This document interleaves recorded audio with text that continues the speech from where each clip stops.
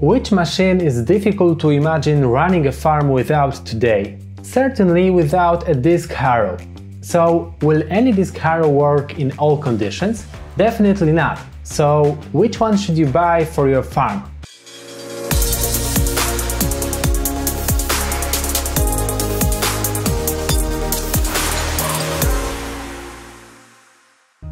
The disc harrow is certainly one of the most popular cultivation machines. It has stormed into the machine parks of many farms, where it has effectively replaced outdated and inefficient stubble plows. However, it turns out that besides post-harvest cultivation, it has much broader applications. The advantages of using disc harrows undoubtedly include the relatively low power requirement of the tractor very low susceptibility to clogging even with a large amount of post-harvest residue, and good soil mixing quality. This seems like enough reasons to consider purchasing such a machine from Rolmako.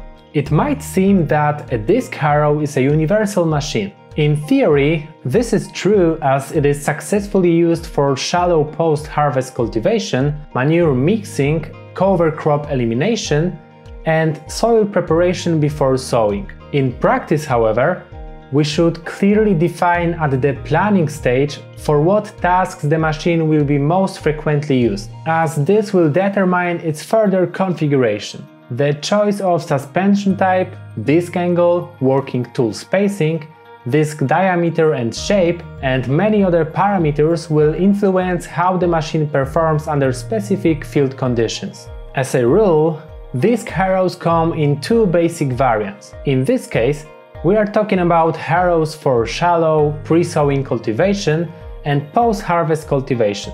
Models U693 and U652 are very versatile machines. Additionally, the U693 model can be used as a cultivation and sowing unit, while the typically stubble harrow is the Rolmako U671 model.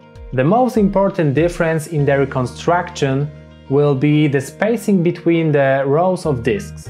In the case of cultivation and sowing machines, the spacing is much smaller than in the case of a stubble cultivation machine. This is related to the amount of post-harvest residue.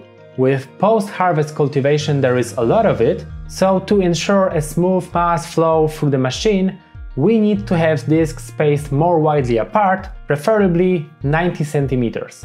At the selection stage, the question will certainly arise, what width of the disc harrow to choose? In fact, the disc harrow must be selected in such a way that its power requirement is appropriate to the capabilities of the tractor. Depending on the size and weight of the disc harrow, power requirements can range from 80 HP to even 320 HP. The second important thing is the soil conditions. If the soil is heavy and wet, a heavier disc harrow should be chosen for cultivation. In the case of light soils, cultivation is easier.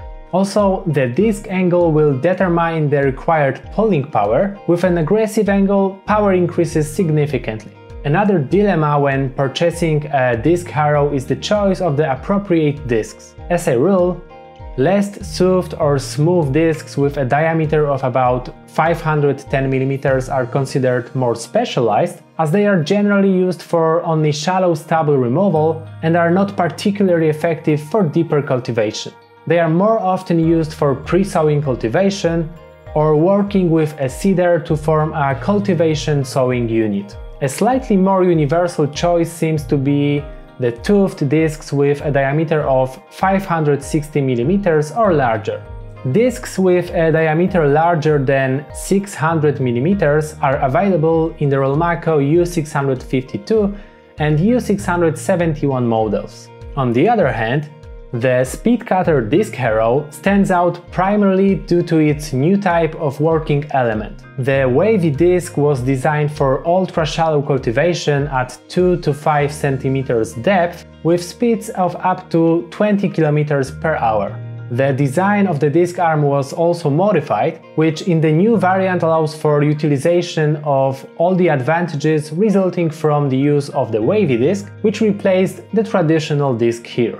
The last, but by no means least important issue, is the choice of the roller. In the disc harrow, it is responsible for setting the working depth of the discs, as well as for leveling and compacting the top layer of the soil. According to experts, on light soils, we should use lighter rollers with a hollow core, which ensures effective soil flow and does not limit the operational speed of the set, for example, a pipe roller. On the other hand, on heavy soils, where we often deal with clods, heavy rollers should be chosen, characterized by an aggressive working surface profile. This includes the rubber roller, packer, and steel roller.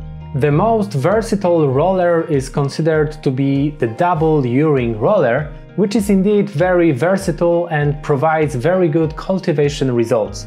This variant of the roller works best in disc harrows, where it is used behind the driving axle. In conclusion, which disc harrow to choose? Without agricultural machinery, farm work would be incredibly hard and labor intensive. Currently, many tillage tools are available to assist, with the most important one possibly being the disc harrow. However, to get the best results from a disc harrow on a given farm, several factors need to be considered before purchase. The power of the available tractor, the width of the disc harrow to choose, the spacing and size of the discs, the proper tillage roller, and choosing a disc harrow only from a well-known and reputable manufacturer, which Rolmako certainly is. After gaining recognition and extensive experience in over 30 international markets, the Rolmako brand proudly returns to Poland.